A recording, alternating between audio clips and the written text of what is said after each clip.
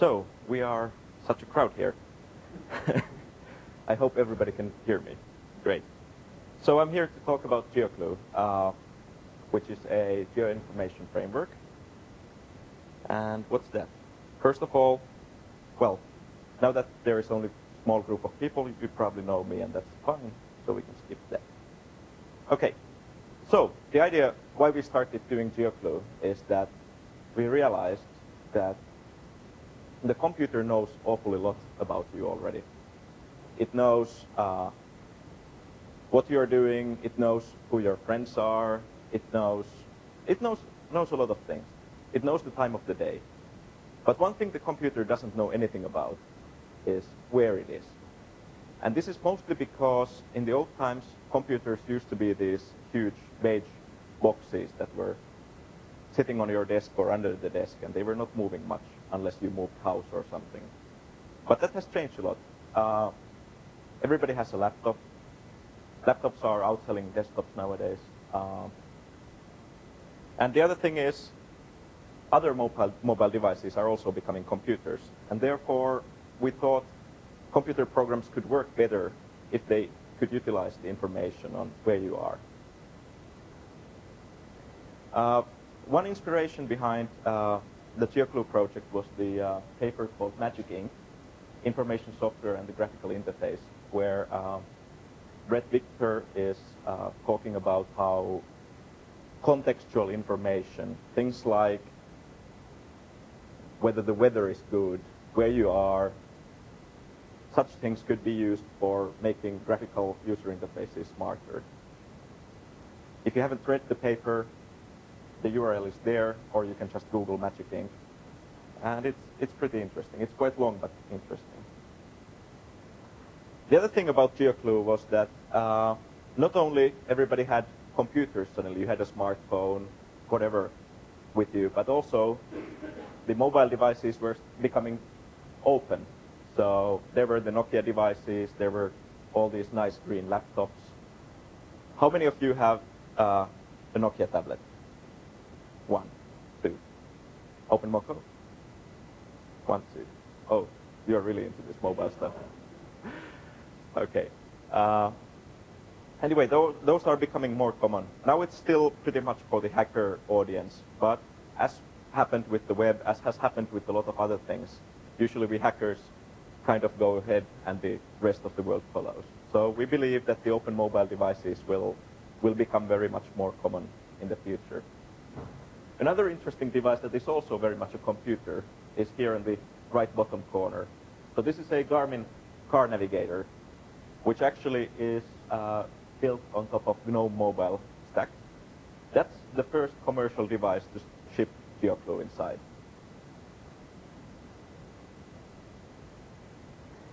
But of course, we in the free software world are not the only ones who have figured out that uh, geographical location could be useful all the other big players are also coming there. Uh, iPhone has a very nice uh, location stack, very similar to GeoClue as far as I know. And there are different tools utilizing it. You can geotag your photos. Uh, you can see what Twitters have been posted nearby you. Nokia is also a big pushing big way into location-based services. They have put GPSs into a lot of their phones. Uh, their phones include car navigation software, free maps, and so forth. Android, Google's mobile operating system also has a lot of location-based stuff. So we believe that this is an area that will become really big. And we think that free software should be there right from the beginning. So what is so difficult about location? Like, you take your mobile device, you tack in a GPS chip, and that's it. You're done, right? Then you know where you are. Well, that's great. GPS is a very accurate way of positioning yourself. Uh, if you see enough satellites, you will pretty sure know where you are. But it's, it's not without disadvantages. One thing is, uh, if you activate your GPS chip on the device, for example, I had a Nokia N95 before. Normally, on standby mode or using it for browsing or something, it would last the whole day, one day for a mobile phone great. But if you if you use the GPS, you go down to about one hour of use. Great. Uh, probably they have done some power management things and it probably works better now, but uh, maybe two hours, yeah. But if you, if you want to do a phone call, you know, having your device run out of battery in two hours is not so good option. So GPS has disadvantages. The other thing is, uh, if I'm standing here, there's, there are some windows here. The roof maybe is not so thick. So maybe, just maybe, I would get the GPS connection. But maybe not, exactly. So we need other options also. One is uh, GSM positioning. This is also something that the iPhone does. So before the GPS is activated, uh, iPhone looks at what cell phone towers it sees and uses those to figure out where approximately it is. You get a couple of city blocks area basically, or maybe one neighborhood area from that. Quite useful if you have a GSM uh, modem in your device. Wi-Fi positioning is another thing. Uh, there are some free databases of uh, Wi-Fi base station MAC addresses and their approximate locations. These have been collected by war drivers and such. There are also some commercial databases. I think uh, iPhone might actually use one of the commercial ones. And the idea is you're standing here, you see probably several Wi-Fi networks. And based on those, you could figure out your approximate location. Again, maybe on city block area or maybe 20 meters radius or whatever, depending on how good the data is. For some applications, that's well enough. For some, it isn't. Then we go a bit further. If you don't have any, any other thing, uh, but you have an internet connection, you can use your IP address and a service called hostip.info, which has a free database of uh, IP addresses or networks mapped into their approximate locations. Uh, if you're using a broadband internet connection, uh, in most cases, host IP will position you in the right city. Well, maybe here it would say Cologne, but that's not so far from the truth. Uh, for mobile mobile networks, it's not so good. Usually when I'm in Finland, I'm using the uh, Sonera mobile network, and every time I try this, it positions me to Jyväskylä, which is in the center of Finland. Maybe they have some uh, proxy there or something. But anyway, this is also useful for some scenarios. If you know where the city, which city you are in, you can do things like change the clock's time zone and whatever. Also, something the uh, Wiimote guys were talking about earlier today was that uh, you could use proximity. So I have no idea where I am. But let's say there we have some idea and there we have some idea. And since we are so good friends, our phones are connected with Bluetooth network. And my phone could ask, okay, what are your coordinates? What are your coordinates? And based on the strength of the Bluetooth connection, I could then figure out that, okay, maybe I'm here on the stage. I get so lost sometimes. Too difficult. but yeah, uh, the point is, this is the software's way of asking. There are other things. There's a German service called Plazes. There's Yahoo's new service called Fire Eagle, which was finally open to the public last week. Uh, basically, these are services where you use some piece of software or you go to the website and you type where you are.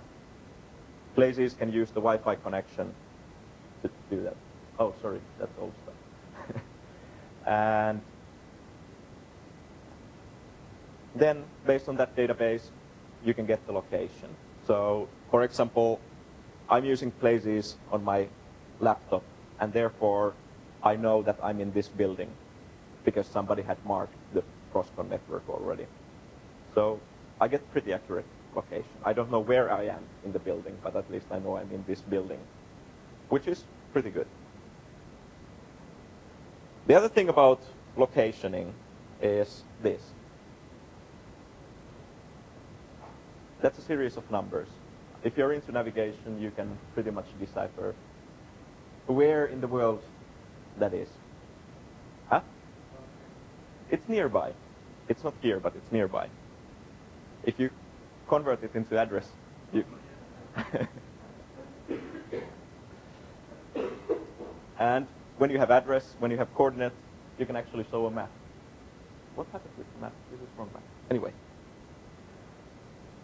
And when you have the location and you know the address, you can also uh, convert that into more meaningful location to people. So you know that, okay, it's a, it's a place where we had a dinner, there's beer, everything. So that's good. That's a lot better than what we started with, right? Huh? oh yeah, let it be said on the video, there is a wine glass. okay. So, what is GeoClue then? GeoClue is a dbus service for Linux devices, basically. Applications can use it to become geo-aware. You simply make a call to GeoClue, where am I? And you get answered. That makes it as easy to deal with the uh, geo stuff as time and date, which probably the PHP people can tell me is not so, so simple. We have abstracted a lot of the difficulties away. And also, what GeoClue does is it provides you the location, regardless of whether you want to know the coordinates or the human readable address. So we can use various geocoding services to convert between those two. You can input an address and we can figure out what are the coordinates, other way around you can input coordinates and we can figure out where you are. Here's a little bit about the architecture. How many of you know dbus? Okay, I probably should tell something about that too. Okay, so dbus is a uh, message bus that is being used both by uh, the GNOME and the KDE projects. Um, with dbus, uh, your application can invoke remote methods, get their return values, or it can receive signals about events happening, like, okay, your phone is running out of battery, or your location has changed. And it's, it's really, in the mobile Linux devices, it's becoming really, really uh, the core, core infrastructure for integrating your application with the rest of the device. The address books work with uh, with dbus. The calendar works with dbus. Um, everything's there. If you want to connect to the internet, you have to make a dbus call to tell the device to look for access points. If you want to make a phone call with OpenMoko, what happens on the background is a dbus call, at least with the latest stack. I don't know how the older one works. Yeah. So anyway, uh, we have provided a couple of uh, API definitions for GeoClue. Uh, there are dbus interfaces for getting the current location, like altitude, coordinates, velocity if you're moving. Depending on the positioning provider, you will know this.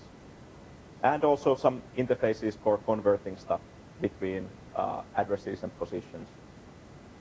But GeoClue is not just a specification. We also have implementations. We have implemented several different GPS interfaces. We have implemented host IP, Plazes, and so forth. So we have, we have the working stack there. Uh, and the good thing about GeoClue is that because all of it happens with dbus, is if you invent a new cool way of positioning yourself, let's say based on remote locations again, you can build your own provider. They are pretty simple a couple of hundred lines of code maximum. You can write them in C, Python, C Sharp, whatever you want to. Whatever language that provides dbus. Maybe PHP will do this too. I don't know. There was some talk about it. And the different providers have to provide some attributes about themselves. So if you have a GPS provider, uh, it will be accurate if the fix, GPS fix is accurate. Uh, if you have a host IP provider, it's very fuzzy sense of location. And the reason why these abilities are informed is because we also have the thing called GeoClue Master. So if you build an application that needs location, you can of course, you know that, okay, this is a car navigation application. I want to talk with the GPS only. Then you can make direct dbus calls to the GPS provider. But in the sense of a generic application that just needs some location information, you can use the GeoClue master. You contact GeoClue master, ask, okay, where am I? And the GeoClue master will go through all the installed GeoClue providers and try to figure out which of them has the best applicable location information available for you. And then it may come from GPS, it may come from Plazes, whatever is available at the moment. But anyway, you get the location and you get the information about how accurate the location is. So, getting the location from, from software is all nice and good. But what, what could you do actually with it? On the server side with Midgard, we do do a lot of stuff with uh, with uh, with geographical positioning. Uh, we position the users, so when we know that I'm here, we can make recommendations based on that. Okay, these Wikipedia pages are located nearby or whatever. But also, because we have the location and we keep track of it, where have I been? We can geotag all the content within the content management system. If I post a photo, it will be geotagged. If I make a blog posting, it will be geotagged. Whatever. But on the desktop with GeoClue, first of all, one thing we have been thinking about and actually implemented also is context for my friends.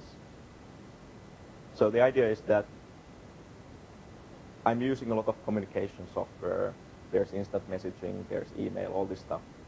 Um, if, if we plug the location context into that, then it might, might be useful for some cases. For example, if I'm in a completely different time zone than my friend, then maybe his phone would alert that, okay, calling him when it's 3 a.m. in this other place is probably not a good idea.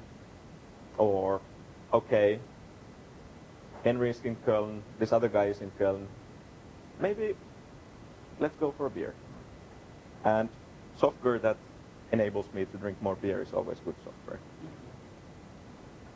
So, a couple of examples. How many of you use Twitter? Jaiku? None? Okay. Both of them are microblogging services that uh, support the concept of location. And what we did for one Twitter client in GNOME is we integrated it with GeoClue. So here you see the GeoClue icon. You can click it to change your location.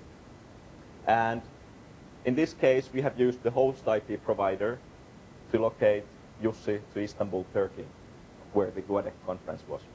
And this happens automatically, so if you move around, uh, GeoClue gets new location information, it will automatically communicate it to Twitter. Based on how, how accurate it is, you get, get more there. I don't think, I'm not using Twitter myself. I don't know if they actually utilize the location information anywhere. Yeah, but there are several Twitter clients that do things like alert you of Twitter's nearby, like the iPhone application we saw earlier. So this might be useful, this might be fun. The other thing would be uh, th there's an instant messaging framework called Telepathy, which is a DBus-based framework that provides various uh, instant messaging services, Jabber, MSN, whatever. It's being used by uh, the GNOME, GNOME software stack. It's being used on Nokia's devices and so forth. And they are currently integrating GeoClue so that uh, if you want to, you can share your current location to your instant messaging contacts. And then you can see where people are. Could be useful again. The other end of using GeoClue is the context for me. So if, if my software knew where I am, it could probably serve me better. One simple example. Uh, how often do you travel between time zones? Yeah, happens quite a lot. Nowadays, I have this phone. What it does is when I connect to a new network, it changes the time zone. Great. I never got that to work with my Nokia phones for some reason. But uh, my laptop is still in Finnish time. Uh, if I was carrying my Nokia tablet, it would also be in the Finnish time. How many devices do you have? How many of you carry multiple computers with you when you travel? Mobile phone is a computer, if, if, if you can install software on it. Three, exactly. And probably only one of them changes the time zone automatically. So, huh? okay, zero to one of those devices. So if you want to have all of them in, running in the same time zone, even cameras actually could fall into this category. Cameras are computers nowadays too. So probably they could also run GeoClue and do all this stuff. And a little thing here. We integrated GeoClue with the GNOME panel clock. And now when you travel around, when you open the laptop, if you have a network connection, we will notice, okay, now you're in St. Augustin, or now you're in Helsinki, and we can change the time zone accordingly. Very, very small thing, but helps users. I was in the Akademy conference uh, two weeks ago, and I was talking with the KDE people, and they were very interested in doing that. We will not do that for them because we are not KDE developers, but we hope that they will implement it. And they, they seem very interested. So possibly this is, this is coming there too. The way we did it here in the, in the GNOME clock is because it's a, it's a world time clock, so you can have multiple locations here. Uh, we made GeoClue install a new, new location, which it automatically keeps changing as you travel around. And that's, that's how it's done. In this case, it's not, it wasn't so useful because Jussi was traveling from Helsinki to Istanbul. And the time zone is Helsinki, Istanbul, Johannesburg, so... Hmm? Possibly, yes. The other thing is, uh, for GUADEC last year, uh, which was in Birmingham, I did a little uh, script. Uh, the Nokia tablets have a nice map viewing application called Maemo Mapper, and it has support for points of interest. So I did a little script that, uh, Python script that uh, checked the location from GeoClue and then collected Wikipedia entries positioned uh, positioned Wikipedia entries from a given radius. I think it was few, few, kilometers. And put them into the map as points of interest. So when we went to GUADEC, we had automatically on the map all the interesting museums or whatever.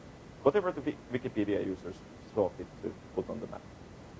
Uh, unfortunately, hubs are not on Wikipedia, but if somebody knows a uh, free database of positioned pubs, then OpenStreetMap has it. Yeah, I know.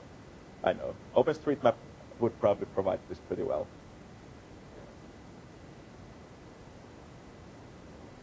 And then th this is again something that will make people a bit happier. You land in a new place, you have no idea where to go. You don't want to carry a big Lonely Planet book around with you. With with all this free data that is available, we could provide a kind of an automatic travel guide if we wanted to. And again, uh, there was an interesting talk about machine learning, learning yesterday, and we could use some machine learning algorithms to learn about the user, learn about your habits. If you're not into beer, you're into wine, then maybe not suggest the pubs to you or the breweries, suggest some other places. So uh, that's something a paper book doesn't do so well. With computer software, we can do it easily. Other thing, uh, again, a little thing. How many of you have some kind of weather applet in your desktop or browser or something? Yeah. What location does it show? Always the same location, exactly. So how about if you could also make uh, your weather applet show the current location instead of whatever? Could help. Um, another thing, uh, there was OpenStreetMap talk previously. I unfortunately couldn't go there, but you are all familiar with OpenStreetMap, I guess. Hands up, who isn't? Okay. Who is not familiar with OpenStreetMap? Okay. So one thing about OpenStreetMap is because you can actually download the vector data, the actual streets and not just pictures of streets. Uh, there are various libraries for doing navigation and routing using the data. And that's something that we would like to see on mobile Linux devices more. I think uh, OpenMoko has some kind of navigational application that uses OpenStreetMap data, maybe. Mm. Yeah. Yeah. For example, what, what the Maemo mapper does is they break Google's terms of service and they use Google Maps routing data, even if you're using OpenStreetMap to display the map. So that's not so nice. Um, but this is something, the map data is pretty well available nowadays. If it isn't for your hometown, take your GPS and go out and map it. Mm. Yeah, Finland, Finland used to be like that about 14 months, months ago. And now I think we have all the big roads in the country, all the cities. And then some places like Helsinki have an amazing quality of data. Yeah, yeah, well, I live in Helsinki. Several other OpenStreetMap mappers live in Helsinki. So, of course, you know, it's, it's so much easier to go out of your door with the GPS and start mapping instead of first driving 300 kilometers to middle of nowhere and then start mapping. yeah. Like Netherlands did. No, the project started in UK. That's the reason. And uh, and you, in UK they got some interesting deals done. Like uh, they they were able to get uh, GPS track logs from some courier companies and stuff like that. But yeah, in Netherlands they got map donation. In US uh, they are using the publicly available Tiger data they have been importing that over the last year because it's a huge set of data. Uh, I don't know whether it's complete nowadays or not, but I would imagine US is pretty good now. Yeah, but OpenStreetMap being very, very open in, in nature, it's always possible to go in and add more detail. So for example, here you can see that the map is pretty complete when you think about normal digital maps. But compared to Helsinki, for example, I don't see at least many building outlines here. In Helsinki, we have all the buildings in the urban area. So you can see the shape of the buildings and so forth. Some of them have names, doors, services provided like restaurants, pubs, whatever there. So that's, that's pretty cool. The better geodata we have available, the better geographical services we can build. Another thing I don't have a slide, slide about which is pretty interesting, is um, how many of you know Google Gears? Yeah. So Google Gears is a uh, browser extension that provides uh, various additional JavaScript interfaces like local storage. So your web application can store stuff on your hard drive. And now, uh, this week, uh, yesterday or day before yesterday, Google uh, finally launched a version of Google Gears that provides also a geopositioning uh, interface. There's a JavaScript interface a web application can use to ask, okay, where are you? It's only for Windows, and I think only for Windows Mobile, which, which is not so great. But if, if there are good Firefox hackers around, it would be pretty easy to implement the same JavaScript interfaces as a Firefox extension that would get the location from GeoClue. And suddenly, all these services built for Windows Mobile and Google Gears would also work with Firefox on Linux laptops or even Maemo devices, OpenMokos, whatever. And suddenly, the geographical context, the user's location would not be any more limited to the desktop application. Our, our web applications could also do the similar things. Little stuff like uh, how many of you go to Google Maps every now and then? Yeah, everybody. When you type maps.google.com, what do you see? US. Yeah. Would it be use, more useful if it was the approximate area where you are at the moment? No? yeah, but the map of US you need always. yeah. So I'm, I'm, sure Google will implement these JavaScript interfaces into their service pretty soon. I'm sure other other websites with geoposition services, uh, look, content like Flickr, YouTube, whatever, will also do the same. So if we don't do this for the free browsers, then Linux users will be left behind. With GeoClue, we have all the infrastructure needed for getting the location easily and reliably. We only need to make a Firefox extension that will communicate this up. Uh, that's all from the official part. And now, if we still have time, which I think we do, uh, it would be interesting to hear what kind of ideas you have for geographical location on the desktop or even on the web. What, what would you do if you knew where your users were? Set the time zone, yeah. Mm, yeah, because it's a PHP ini setting, right?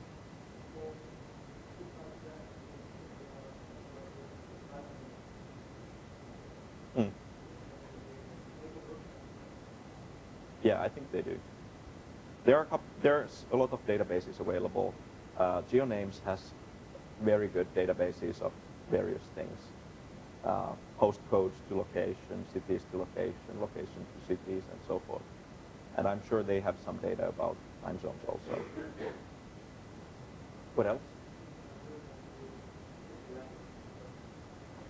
Yeah, Google seems to do it. Uh, I get all the Google services in German at the moment, and I'm not exactly happy about that. what does this button do? Yeah.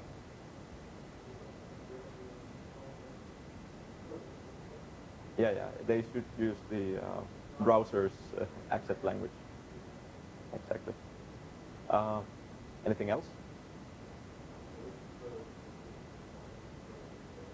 Mm -hmm. Yeah.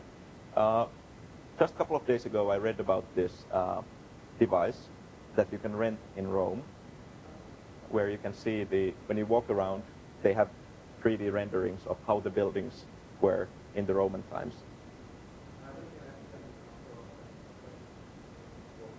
Yeah, but why why rent such thing when a lot of that data is already available in in various free databases? And you already have a pretty capable computer that you can carry all, all around with you that has location available. So I think the, the time when people actually rent devices to do that will be pretty short. All of that will converge into, into the software you install on your mobile phone on, or on your PDA. I would imagine so. What else? Yes, that's a good one. So yeah, yeah. You could use uh, use this to change your uh, usage profiles in instant messaging. Uh, maybe change the polling interval you're using for your emails, for your phone's uh, call profiles. That would be very very nice. I walk home and uh, suddenly my office office instant messaging account goes into away status or even offline. I swap between call profiles, all this stuff. Maybe I stop calling my work inbox. Mm -hmm. Yeah. Pardon? Yeah, that's that's a very common Bluetooth use scenario. You can connect the Bluetooth of your phone with your computer, and you can do that to automatically lock the computer when you walk away or silent, silence the music or whatever. That's, that's pretty useful. Um, another thing I've seen for the iPhone, but not so much in the free software circles yet, is uh, connecting to-do items with location. So let's say your phone would start notifying you when you have some, things on your shopping list and you are walking past the store or whatever. Or changing your to-do list automatically when you go to the office and when you go work, go to work. Little things, but lots of possibilities. Yeah, yeah, exactly. Uh, it could be used for recommendation services. Uh, I'm using Last.fm, and they they build pretty good recommendations on concerts I could go to. But the problem is uh, they built them for my hometown, so I get always recommendations for Helsinki, even though I'm spending a lot of time in Istanbul, and I'm not getting any recommendations for Istanbul. Okay, I could go to Last.fm and change my location, but you know, to do this every time I travel, it, it's a lot of work. It would be a lot nicer if, the, if I could communicate to Last.fm, okay, now I'm in St. Augustin, is there something here? Anything else? All right. Thank you very much.